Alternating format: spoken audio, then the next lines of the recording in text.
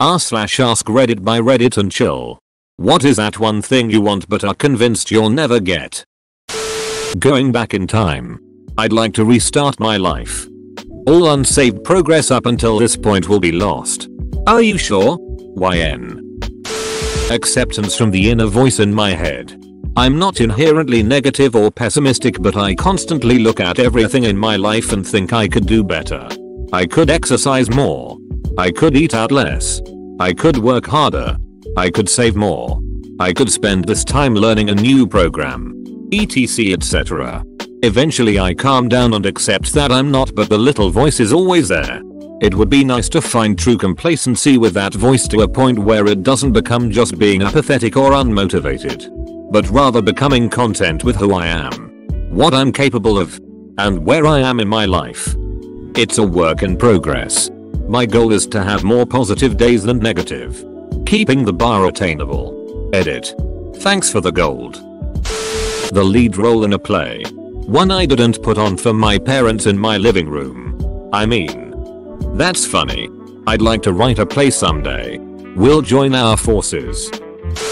Motivation. I don't seem to be able to make myself care about anything. Same every night before bed I tell myself tomorrow will be the day you wake up early enough to have some peace in the morning. And every day 7 rolls around my alarm goes off and I set it back 15 minutes and then 15 minutes and then 15 minutes and then I've got 5 minutes to get ready for work.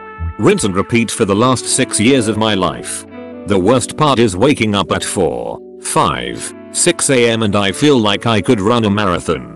But instead I lay back down and wake up later feeling like trash. Enough money to live instead of surviving.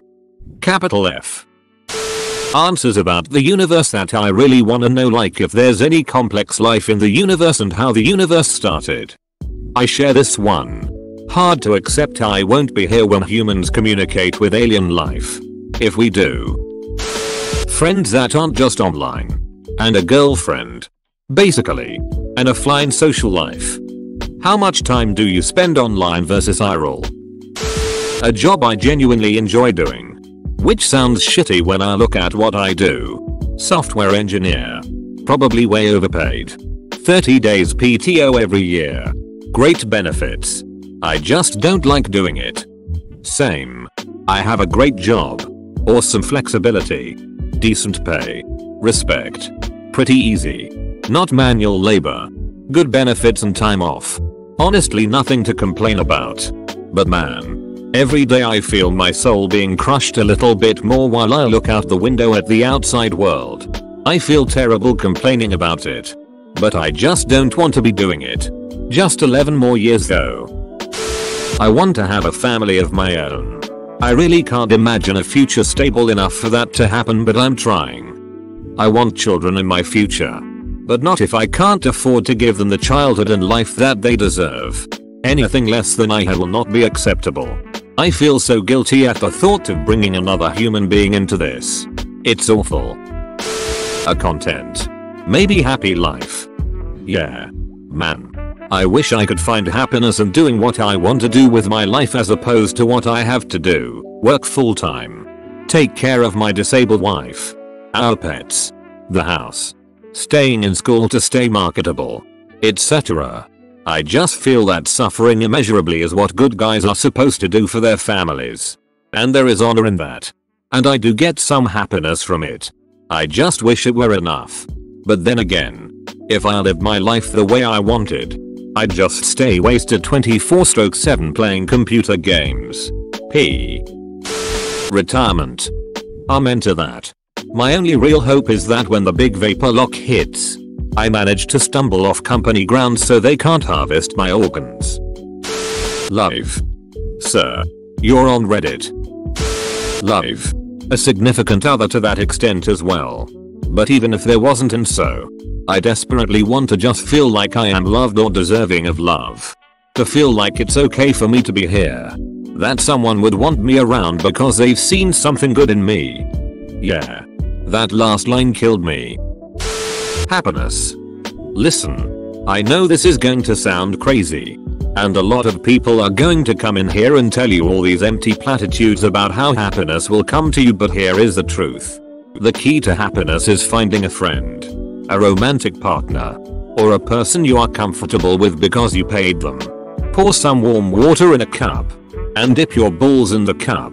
Then have the other person take a straw and blow it into the water. This is called a balcuzzi. And it is the secret to happiness the oligarchs don't want you to know. If you are a female, tits work as a substitute. But you will need two people two straws or a really big cup with one person who has really strong lungs. I promise you will get through this. And the sun will shine upon you another day. Letter from Hogwarts. Edit. OMG my first award ever. Thank you. Yara Wizardary. I really want to be a regular at a bar somewhere. I want to walk in after a long day. Nod to the hostess. Sit at my table in the corner.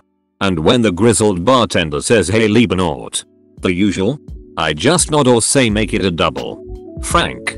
And then I sit there and smoke a pipe and read a book and watch all the bright young things going about the dance of life while the shadows grow long and the candles burn short. Won't ever happen. Because I don't actually want to be an alcoholic sad sack. And B. Because I'm a bit of a foodie and I can't see myself ever being content with one bar or one type of drink. I had that one too.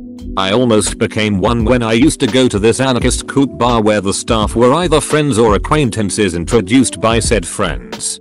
I could use the same as usual thing with my barman friend but that's just because I verbalized the fact that I always wanted to say that and he humored me. The usual was a glass of my favorite mead in this case.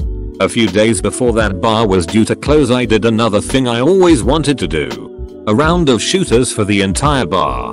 Cost me $65-70 I Ike. Not too bad. Tequila for everyone as a gesture of thanks for the good times. Peace of mind. I have ADHD, they don't believe in it. Where I live. A job that pays a livable wage. Relief from constant pain. The only thing that works is marijuana. But I work in an industry with random piss tests. So I can't even relax with a joint and enjoy a pain-free weekend. Dependent on where you live. But would you qualify for medical marijuana and would that exempt you during drug testing? Decent mental health. I had finally climbed out of years of depression and general misery. Was feeling the best I'd really ever felt in life, suddenly hit with a wave of insane night terrors. I'll wake up to my parents terrified because I'd been screaming and smashing at the walls in my sleep. I can't ducking win. I believe in you mate. You can do it. A house. Me too. At the rate I'm saving. It will take another two decades for a down payment. Then I will be dead before paying off the 30 year mortgage. This isn't even considering inflation. If I went to another state though, I'd have the down payment now. But I'd be away from my family. Another season of Hunter x Hunter. Everything in the other comments may become true. But not this one. A GF. A BF. Asterisk. My shit together. A baby duck. I want a baby duck. You can just go and get a duck. It's not like they're illegal to keep. My friend had a few. Four. Until a hawk started picking them off. Now they have one and a baseball bat covered in hawk blood. And the eggs were delicious. Duck eggs make the best baked goods. A life-saving operation.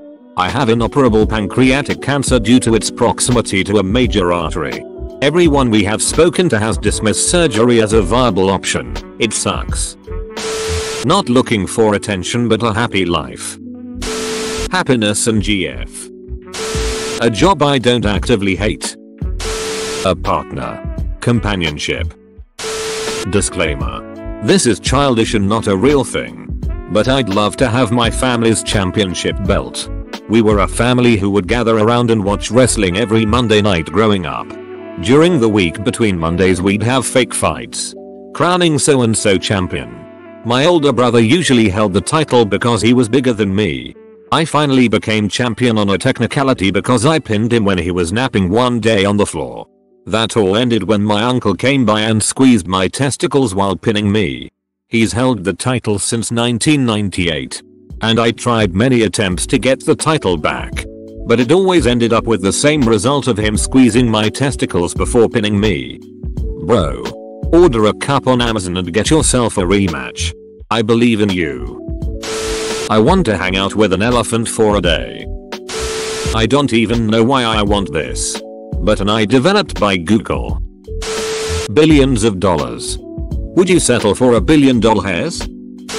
This is dumb but a Toyota Supra. I remember when I was in high school working a part-time job they were about $22,000 for a really decent one. Specifically a few black on black 6-speed twin turbo sit at around this price.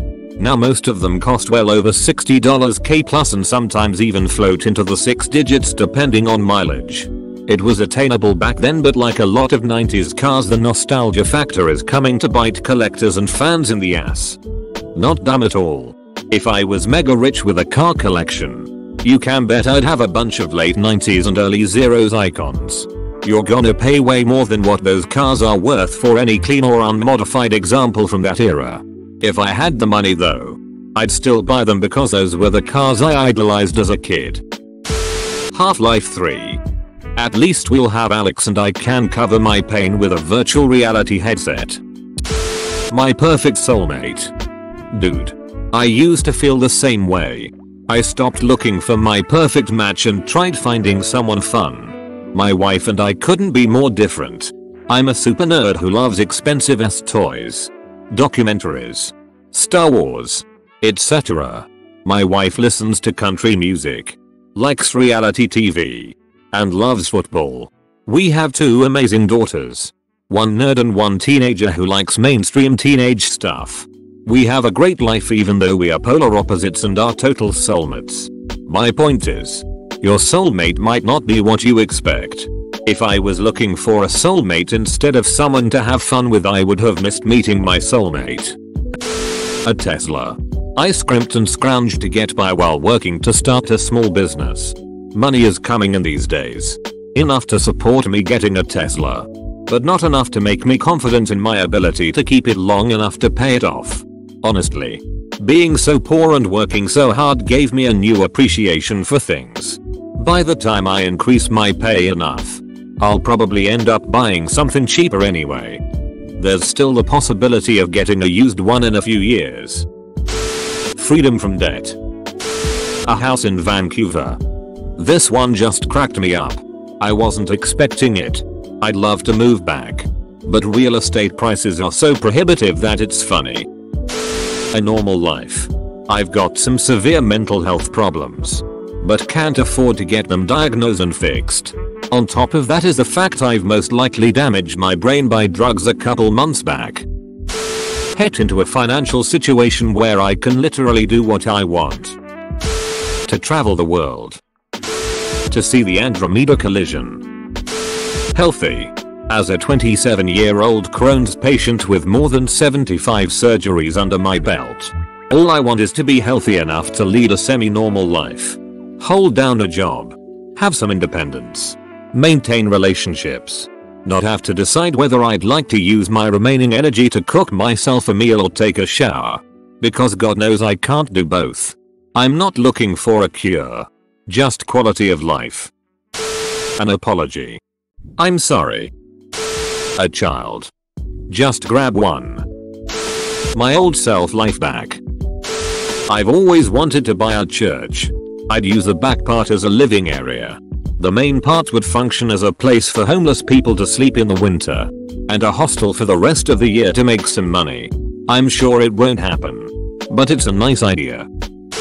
Ducking like and subscribe.